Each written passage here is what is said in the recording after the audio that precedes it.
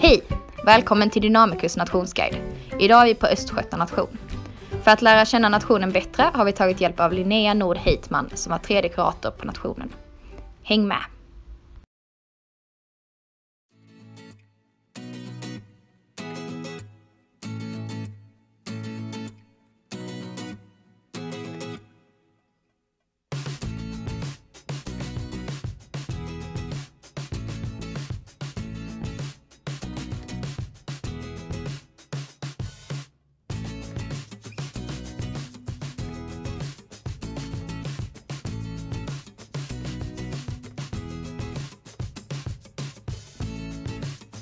Jättemånga olika sätt att engagera sig. Eh, vi har dels restaurangverksamhet, eh, då vi fika, pub, vi har klubbar och eh, lite olika så, olika dagar i veckan. Sen har vi också mycket kulturell verksamhet. Vi har idrottsförening, teater, vi har storspex varje höst. Eh, man kan dansa i vår dansgrupp, sjunga i kör, vi kan spela, man kan spela i vårt storband. Och det finns ganska många olika sätt att engagera sig.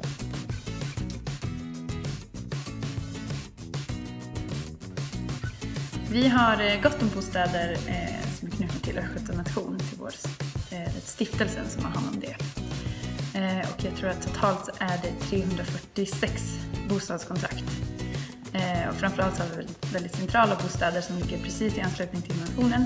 Eh, några bostäder eh, på Luthagen och sen även uppe i Kåbo. Ja, vi har vårt fik Mjölkbaren öppet på vardagar, måndagar till torsdagar. Eh, och det, där serverar vi fika och eh, lunch de dagarna. Sen har vi också ett lördagsfik som serverar fika eh, och lunch. Och eh, varje dag har vi våffelbuffé. Det tycker vi är roligt.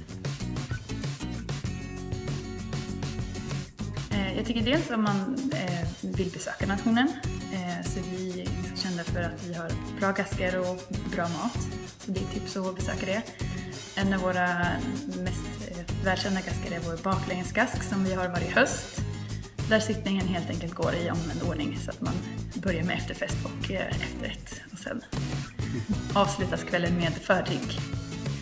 Det brukar vara väldigt roligt. Och vi har mycket temakvällar. Vi har pub Eh, måndagar till fredagar och eh, det brukar hända lite olika saker där. Vill man engagera sig i nationen så finns det gott om möjlighet att göra det och man behöver aldrig ha några förkunskaper egentligen för att kunna göra det. Eh, vi lär er allt som man behöver veta och det är väldigt roligt att vara del av den här gemenskapen på nationen och träffa nya vänner.